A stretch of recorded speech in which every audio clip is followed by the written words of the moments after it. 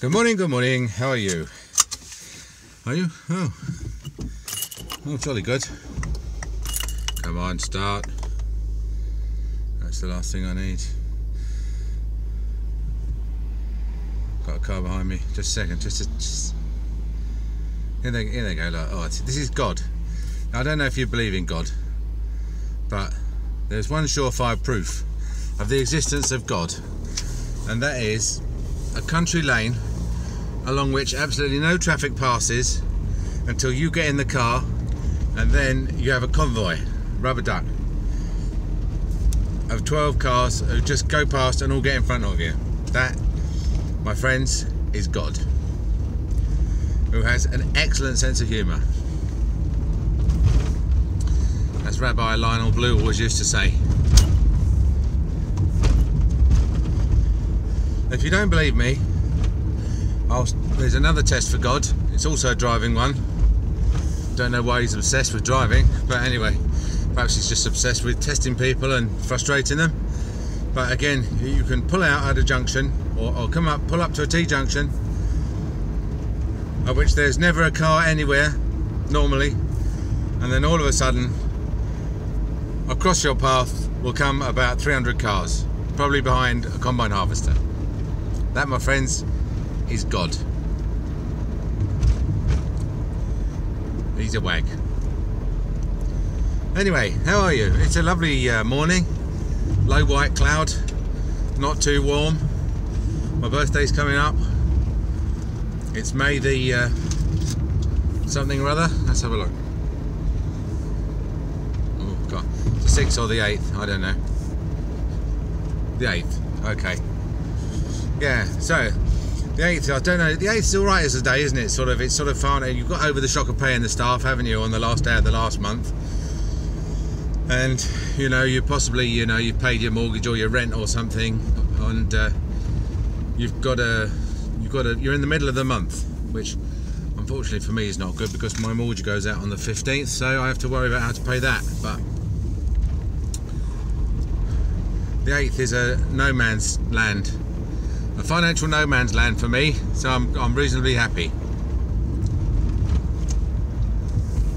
So anyway, I'm sort of, uh, you know, thinking about what to chat about, and uh, a lot of uh, a lot of thought goes into these subjects, as you can probably tell. You know, a lot of research and preparation, and uh, and as I was climbing into the car this morning, I thought I'll talk about the young young practitioners, the challenges facing young practitioners today compared to the challenges facing young practitioners when I qualified in 1980. and um, the and then I thought, well, you know, that really sort of leads into the changing dynamics, doesn't it, of the profession? So I mean, it might be a larger subject than I think, but anyway, the point, the point that I think the major point that I'm going to probably make when sort of looking back on it, and that's it's the only, it's you know Oh, I've got to start saying you know as well. Okay, I've got to start saying. feel free to shout at me if I keep saying you know, because I do actually listen to these things afterwards. In fact, uh, I would imagine I probably account for 10% of the uh, times this video is played just by listening to it. Because we all love the sound of our own voice, don't we? But I do like to find out how it's all gone and also uh, try and uh, remember what I was talking about because it's quite difficult.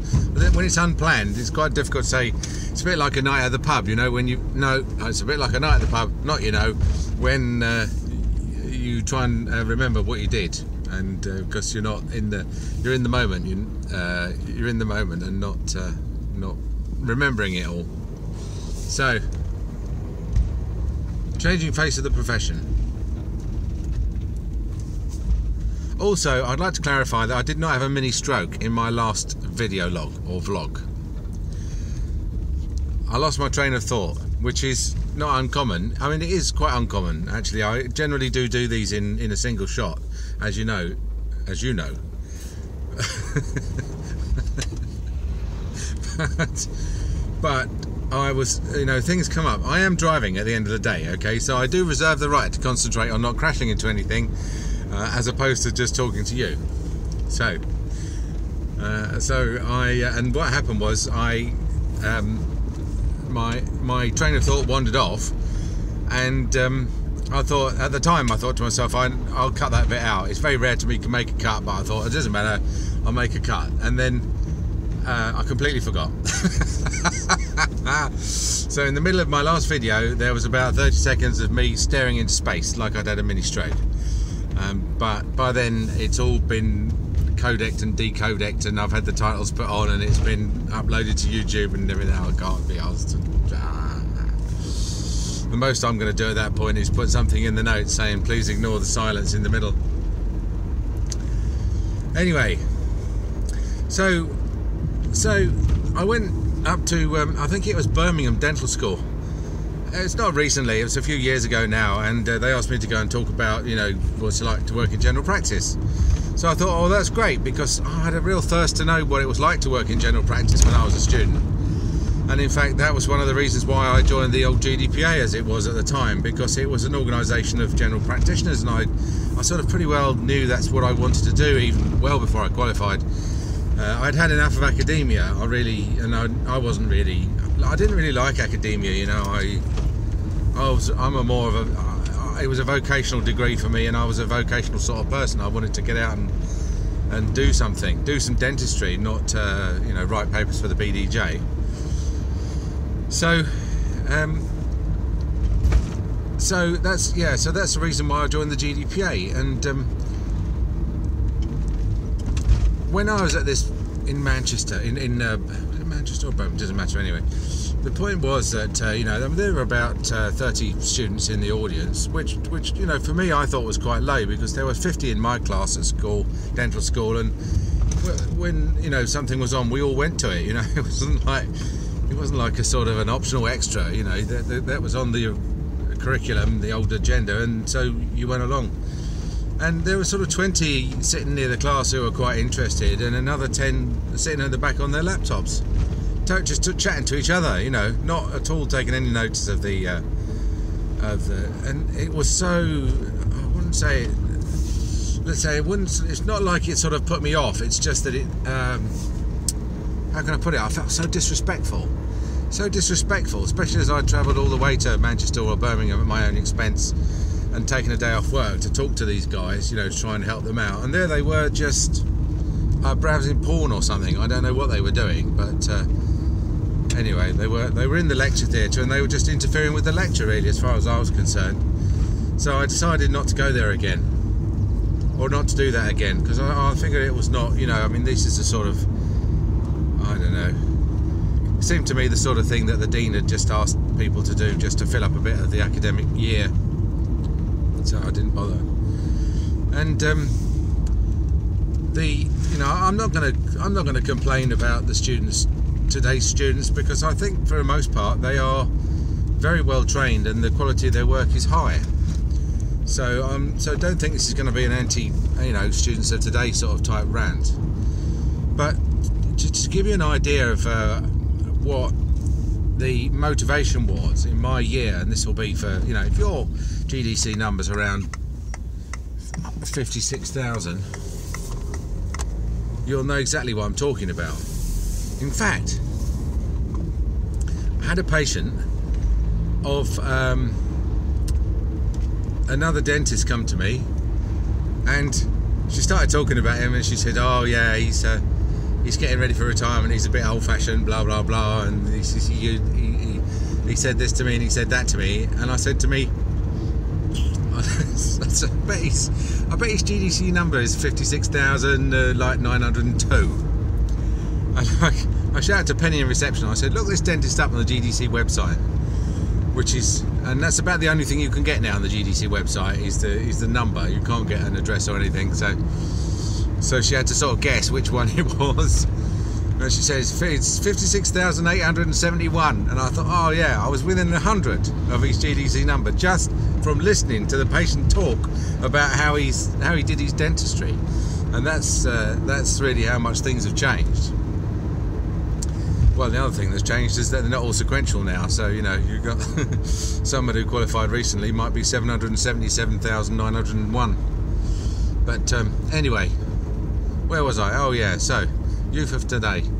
Well, I mean, I qualified and went straight into general practice, and uh, on the first day that I possibly could. So I was sort of licensed on the December the 31st, and then then it was a weekend, and then on the Monday morning I already had a job lined up with 40 patients booked in, and 40 was about right.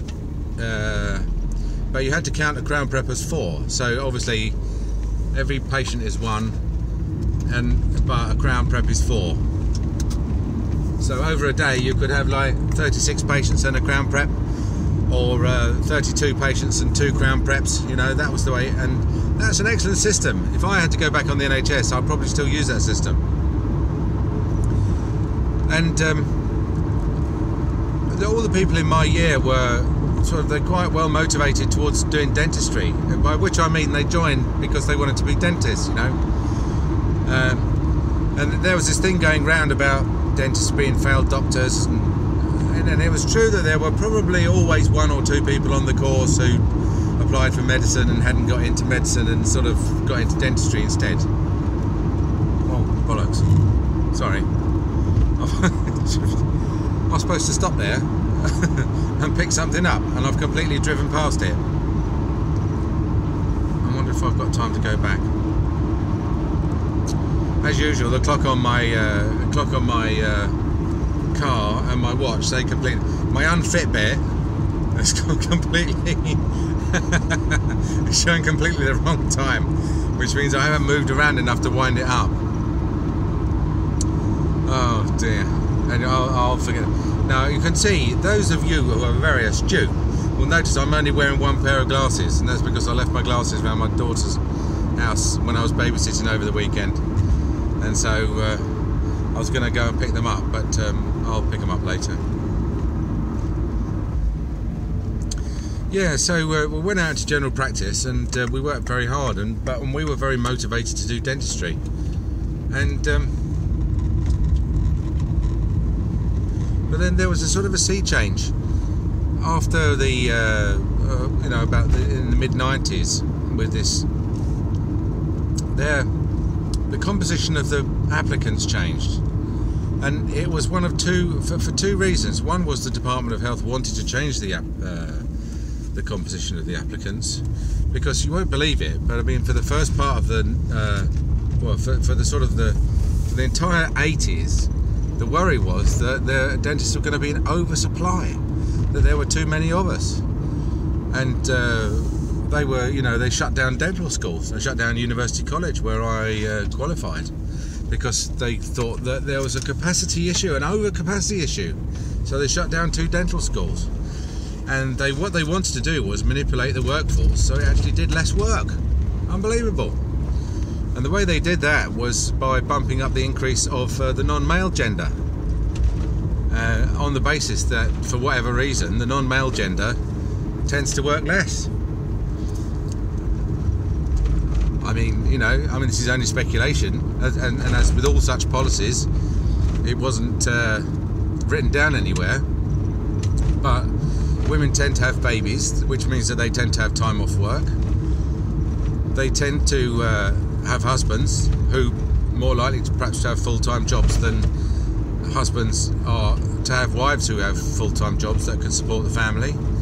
And so uh, you know women are more often part-time um, are more often less concerned about uh, grossing high amounts and um, and less concerned about working altogether to be quite honest if my wife's anything to go by. So and the idea was that this was sort of a, it was a sneaky, and of course it was right on, wasn't it? It was right on politically correct to try and improve the uh, ratio of men to women. Not that I'm saying that the ratio was was correct. I mean, it really was, there weren't many women in the profession, and it was true that. Uh, but anyway, so so it all fitted together, and then what happened was there was after the 92 uh, fee cut and, and all the big hoo-ha and the national strike and everything, then there was a big complete volte face, which is a turnaround, in case you're not Italian.